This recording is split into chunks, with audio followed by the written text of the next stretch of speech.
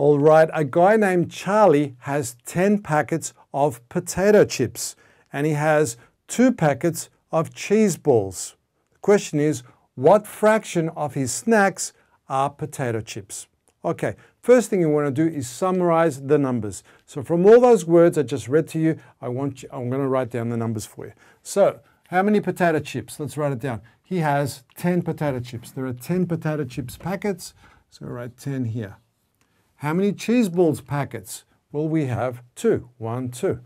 Two cheese balls. Okay, what's the total number of snacks altogether? Well, all the potato chips and all the cheese balls altogether, 10 plus 2, that equals 12. Now the question asks, what is the fraction of potato chips? Okay, in order for us to work out a fraction, we've got to understand how the fraction works here. So fraction equals, on the top, as you know already, is a numerator. And down below, we have the denominator.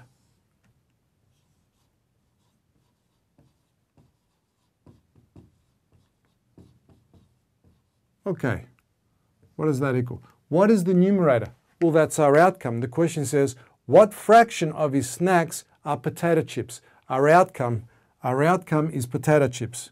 So write it down. We want to know the number of potato chips. Potato chips. That's what the question asks. I'll read it again. What fraction of his snacks are potato chips? That's our outcome. That goes for the numerator.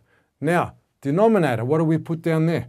Denominator is the total that the whole is divided into. So what's the total number of snacks?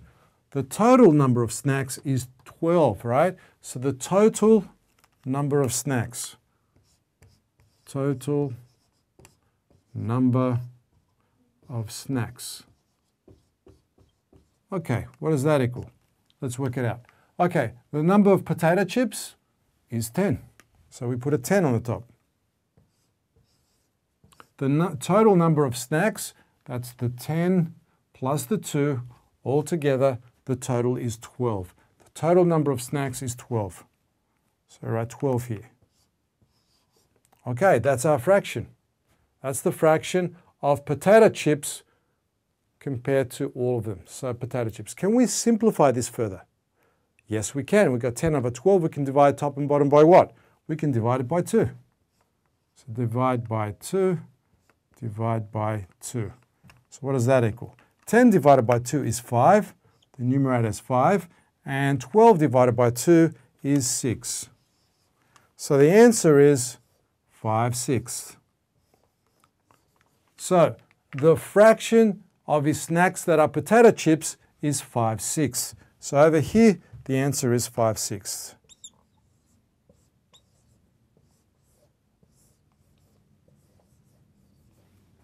There you go. Hope that helps.